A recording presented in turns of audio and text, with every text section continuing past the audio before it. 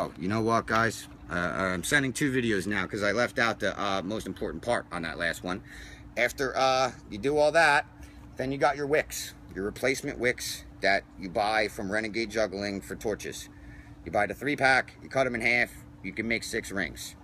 All right, so you got your half inch copper, your threaded rod with all the nuts and lock washers tied up. Pretty self-explanatory. Now,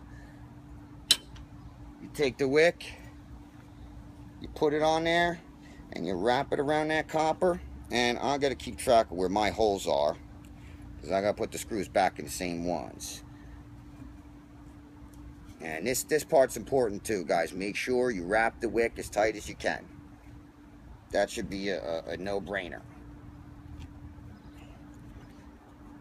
Alright. Wrapped it around. And my self-tapping, uh, let me uh, move this. Guys can get a little better view of what I'm doing here.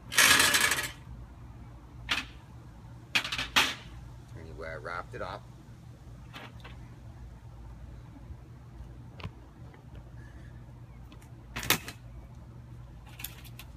Take my self-tapping screws.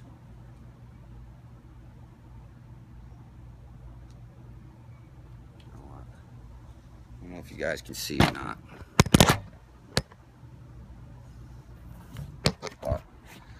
Take my self-tapping screws like that.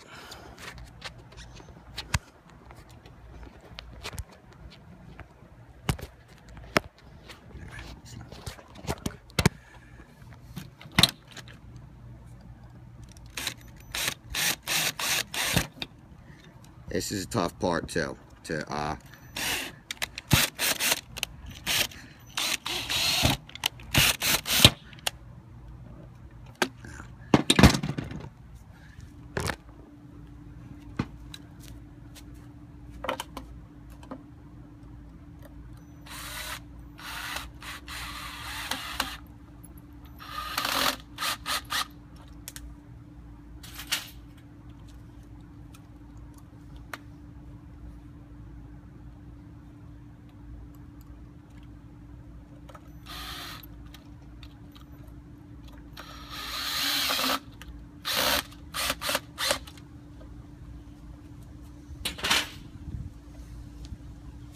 All right, well, there you go. I hope you guys can see that.